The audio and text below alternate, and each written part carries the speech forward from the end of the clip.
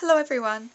Today's video is going to be a quick clay video, which I guess is kind of like a speed paint or a speed draw video, except that I'm making something out of polymer clay.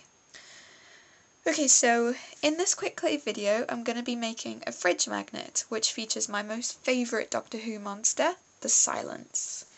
I think the Silence are just really, really creepy. I love the idea that you forget when you've seen them because it just makes them feel a bit more as if they could actually be real. Uh, there could be one standing over you right now, and oh, they just they just really freak me out. Um, and for that reason, I think they're one of the best Doctor Who monsters. So, to make my silence magnet, I'm going to be using a softer brand of polymer clay. Ordinarily, I prefer to use harder brands of clay because they hold their shape a little bit better, but when you're sculpting and texturing a flat piece like this, I just find that soft clay makes life easier by being a bit more malleable. I'm also going to be painting my baked magnet with some acrylic paints and that's just going to help give a little bit more depth to the piece. Um, and then after that I'm going to glaze it with some shiny gloss glaze, which in this case really helps to bring out those scary hollow eyes that the silence have, but generally it's also quite important for sealing in and protecting any paint that you put on, um, just to stop it from chipping or rubbing off or anything like that.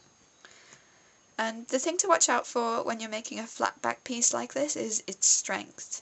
It can be quite easy to snap large thin pieces of clay like the backing of this silence magnet is going to be. Um, in this case I'm not really worrying too much about that here because when I stick the magnets onto the back of the piece they'll lend quite a lot of strength to it. Um, otherwise you can strengthen the back with a layer of liquid clay or you can glue something like felt to the back or you can just make your piece a little bit thicker and more condensed. So yeah, the strength of your end product is definitely something to bear in mind while you're in your early sculpting stages, especially so you don't have the heartbreak of snapping something you've spent hours working on. Definitely don't do what I've done in the past, which is spend ages making a really detailed flat piece, baking it, and then thinking it's a good idea to test its strength by bending it, because yeah, I just I just cleanly snapped it in two. So rather test the limits of your clay with a scrap piece rather than something you've spent ages on. Also, when making fan art or anything which is not a fictional kind of creation of your own, it's handy to have a reference picture nearby just so you can keep comparing how your piece looks uh, compared to the real thing. And I find that polymer clay is especially great for making things like fan art because it's just really easy to fix any mistakes that you make. You can just blend them out again, you can add clay over to the top of them, texture them, paint over them.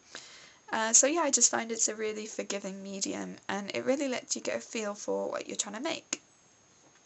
So um, I'm going to be quiet now and I'm going to let you guys watch the rest of this quick clay video in peace. Let me know in the comments below if you enjoyed this video, if you'd like to see more videos similar to this. And also, if you're a Doctor Who fan, let me know who you think the best monsters are.